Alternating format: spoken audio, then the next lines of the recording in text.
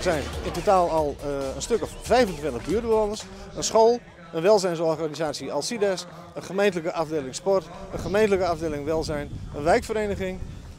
Dat allemaal bij elkaar gebracht door Emory Visited. En het resultaat zie je hier achter mij. Nou, dat is leuk aan het veld. Je kunt op acht verschillende plekken op dit veld kun je verschillende sporten beoefenen. Dat is wat je ziet. We zien dat s'avonds hier 60, 70 jongeren op verschillende plekken op dit veld met elkaar op een hele sportieve manier bezig zijn. En van rotzooi is nagenoeg geen sprake.